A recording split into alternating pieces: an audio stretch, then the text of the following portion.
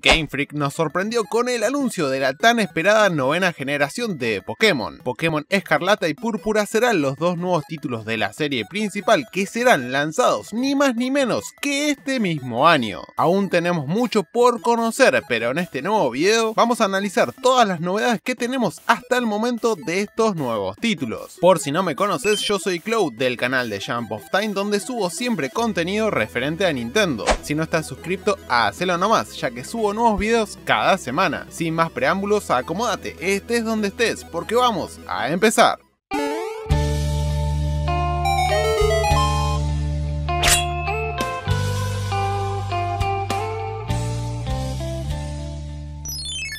Bueno, lo primero que tenemos que saber es que el juego aún se encuentra en fases de desarrollo. En el mismo tráiler podremos ver la clásica leyenda, que las imágenes que vemos no pertenecen a una versión definitiva del juego. Esto es muy importante remarcarlo, ya que el juego final sufrirá cambios y por supuesto mejoras. Si bien no tenemos una fecha exacta de lanzamiento, estos dos juegos llegarán de manera segura a finales de este año. Podemos confirmar también que los juegos estarán en español, aunque no sabemos si de una buena vez serán lanzados en latino, ojalá que sí. Los tres Pokémon iniciales son Sprigatito del tipo planta, Fuecoco del tipo fuego y Quaxly del tipo agua. No sé qué opinan ustedes, pero los tres están súper apapachables. Un detalle a tener en cuenta, y yo sé que tal vez muchos se van a enojar, es que no van a incluir a todos los Pokémon existentes. Y acá hago un inciso, meterlos todos sería prácticamente una locura, así que este dato al menos a mí me parece coherente. Tenemos también un vistazo a los nuevos diseños diseños de los protagonistas, tanto en su versión masculina como femenina. Podemos ver que los diseños son tipo como si fueran estudiantes de secundaria o tipo exploradores.